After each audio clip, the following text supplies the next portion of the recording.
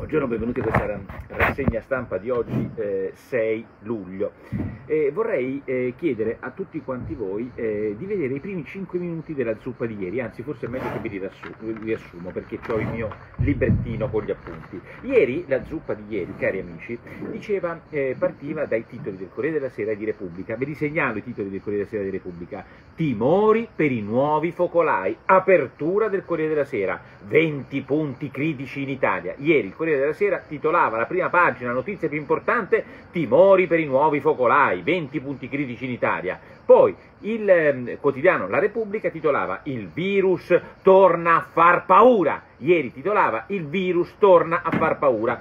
Crolla l'uso delle mascherine, titolava ieri Repubblica. Ieri, non dieci anni fa. Allora oggi mi aspetto di leggere i giornali, voglio dire cosa succede con la storia di questa grande paura del virus, che cosa sta succedendo oggi, come si continua su questa bellissima storia, così come io continuerò questa sera sulla bellissima storia, lo cita oggi il giornale della condanna di Berlusconi, ci sono altre carte, i giornali oggi ci faranno capire, com'è che dicevano, i nuovi focolai, cosa succede, il virus che torna a far paura, zero, zero, zero, non c'è nulla! Nulla sulle prime pagine, praticamente nulla, se non un nuovo nemico che trova il Corriere della Sera, cioè i ragazzi che vanno a fare l'aperitivo, oppure la gente che va in spiaggia. Eccoli, gli untori, quelli che si vanno a prendere l'aperitivo senza maschere. Grazie al cielo vanno a prendere l'aperitivo. L'aperitivo se lo bevono così, capito? Se lo bevono così, a canna, senza le maschere, per fortuna. Se no facciamo le mascherine tipo quei film porno di serie Z in cui ci sono le mutandine col buco. Avete presente? Avete presente? No, non avete presente perché i miei lettori e i miei ascoltatori quelle robe non le vedono e non le immaginano immagino, neanch'io ovviamente, però quello fa schifo, come l'idea di una mascherina col buco quando uno si prende la bibita. Questo schifo oggi ovviamente è mh, mm, inesistente sui giornali.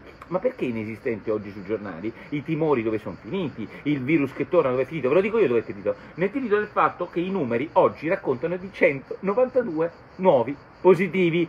192! Ieri ci dicevano il disastro, il trend crescente, 235! In realtà 235 in tutta Italia oggi sono calati, nonostante il cagarci sotto che vogliono mettere i giornali a 192. Ma voglio dire, oggi pomeriggio potranno diventare 250, domani potranno tornare 160. Stiamo parlando di contagiati che non è detto che vadano mai in ospedale e men che mai è detto che diventino dei pazienti in terapia intensiva. La paura del giornale unico del virus fa godere. Ieri la Sarzanini, la, eh, diciamo, la, la giornalista che ci ha accompagnato e ha alimentato queste paure, ha messo la sua penna raccontandoci i timori per i nuovi focolai. Oggi ovviamente queste penne intinte nella paura sono tutte, tutte cambiate, tutte inesistenti. C'è solo la, la foto dei ragazzini che vanno a prendersi. Che cacchio devono fare il sabato sera? Che cosa devono fare se non andarsi a prendere un aperitivo? Che devono fare? Devono stare chiusi a casa a rompersi le balle? Non possono uscire? Vabbè oggi zero. 162 in 12 regioni, in 12 regioni italiane non c'è alcuna terapia intensiva occupata, 12 regioni italiane. Nel frattempo abbiamo detto, oggi i giornali, forse il quotidiano nazionale parte, i sindaci vogliono il trattamento sanitario obbligatorio nei confronti di chi?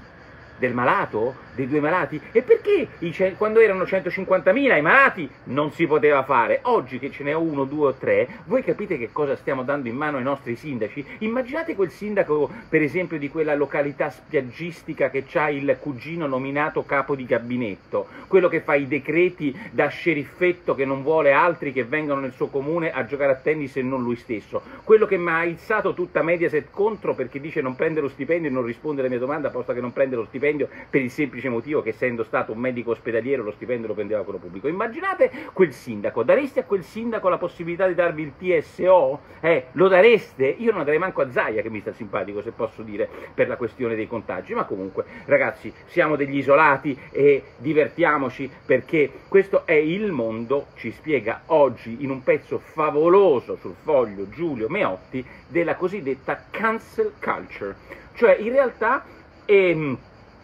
bisogna mettere la museruola a tutti gli oratori che hanno un'opinione contraria rispetto alla vulgata totale. Oggi è stupendo, stupendo il pezzo di Giulio Meotti in cui questo professore di Harvard, strano che Mansfield possa ancora insegnare nell'università libera per eccellenza del Massachusetts, cioè Harvard, dice il professore, offendersi è meglio che ascoltare, è più facile e più sicuro, che è la cultura di questi cazzoni che oggi viene, secondo me, eh, ben illuminata dal mio grandissimo eroe, dal mio grandissimo eroe Leclerc, grandissimo, unico, straordinario Leclerc che fa intanto una gara di Formula 1 straordinaria di ripresa e dice sì sono razzista, si mette pure la magliettina contro il razzismo, siamo tutti contro i razzismi, ma io non mi inginocchio in quella farsa col pugno di, de, de, da quattro cialtroni, io se vedo, posso dirvi una cosa, io con uno che si inginocchia col pugno chiuso perché fa sta roba qua, io non cesco a cena, ma non cesco, cioè gli dico scusami se tu ti sei inginocchiato col pugno chiuso e, e, vuoi uscire a cena con me, non va bene, perché mi hai già rotto i coglioni, sei una persona banale, sei uno della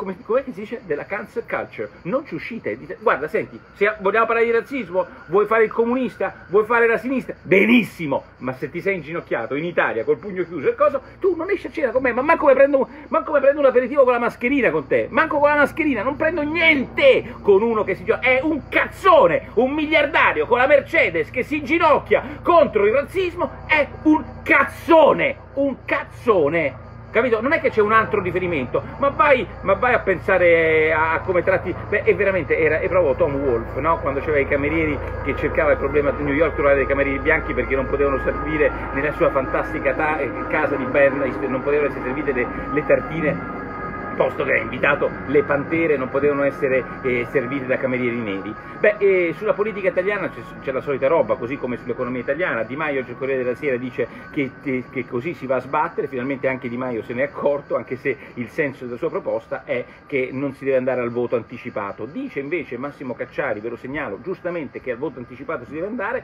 perché governo, in questo governo è un disastro. Eh, il Premier Conte invece, secondo il messaggero, pensate un po' voi, toc toc! Conte, dopo aver abbracciato Di Maio, dopo aver fatto il fenomeno, quello che dice che non è... Ehm, come si può dire, eh, il, il, governo eh, non è del Movimento 5 Stelle, beh, pare, secondo il messaggero, che Conte si iscriverebbe al Movimento 5 Stelle. Nel frattempo, straordinaria sulla questione del virus e del TSO, lì la verità un po' c'è ragione, ma insomma noi facciamo sbarcare la Ocean Viking, io dico, e rimandiamo i miliardari americani in in, in, in, a casa loro, facciamo il TSO obbligatorio e ci accaniamo quei ragazzi che prendono l'aperitivo, mentre invece si sbarcano mh, dopo 11 giorni. Peraltro dopo 4 giorni hanno messo il sequestro di persona a Salvini, chissà cosa faranno la Morgese dopo 11 giorni, ci sarà un, un lunghissimo processo. E poi c'è il famoso Consiglio dei Ministri di oggi in cui dovrebbero esserci il piano nazionale, quello che, eh, per le riforme, che dovrebbe essere il contributo per raccogliere i 170 miliardi del Recovery Fund, Fund e poi ci dovrebbe essere il decreto semplificazioni. Il titolo del Corriere della Sera, che resta ancora in questo suo DNA un po' governativo, meno tasse, più treni, tutte cazzate, scusate il termine, tutte stupide. Lo dico io? No, non lo dico io, non lo dico io. Stasera il decreto per le semplificazioni, vi leggo i commenti principali dei giornali italiani. Sabino Cassese, decreto semplificazione, sono 48 articoli, tradisce promesse e attese.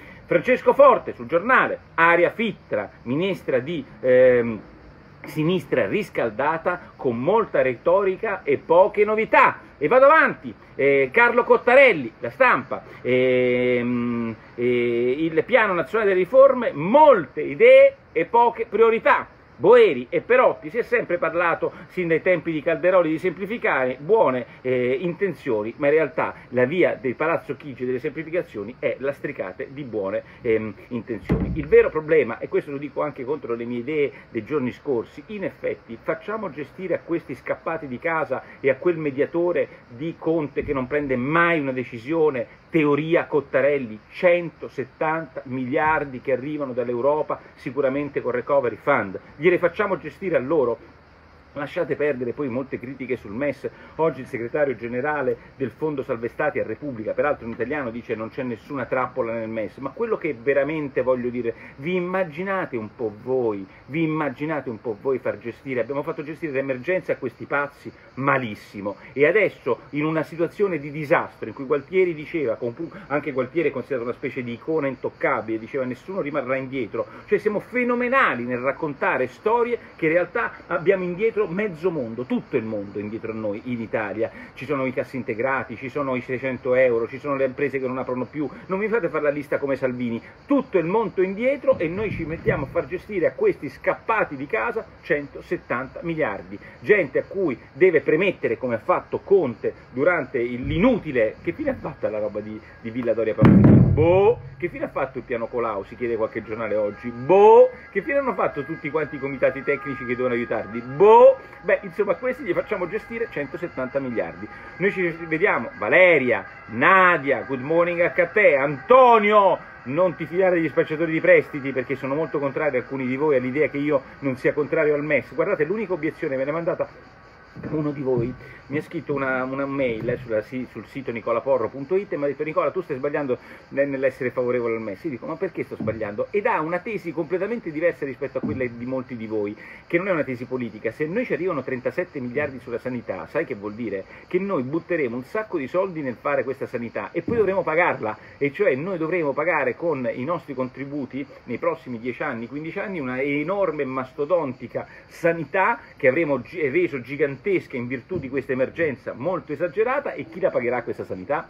E devo dire che il, il tema non è del tutto sbagliato, un po' come chi pagherà le tre maestre eh, alle scuole elementari quando CGL, CISL e WIL vollero aumentare a tre le maestre della scuola elementare? Beh, è tutto eh, scritto, diceva questo nostro eh, ascoltatore sul sito nicolaporro.it. Vi do saluti dalla Puglia, Francesco, ciao, ciao, Solange. Solange, beh stupendo, Gabriele, ciao, buongiorno anche a te Antonio, bene, io vi do un abbraccio e vi dico che questa sera Quarta Repubblica, gli altri documenti che vi fanno veramente capire quell'affresco di cui a me interessa poco il caso di Berlusconi in sé, quell'affresco incredibile della Cassazione, i grandi magistrati italiani come parlano, come si comportano, che pregiudizi hanno, ragazzi un quadro devastante, ciao, a questa sera.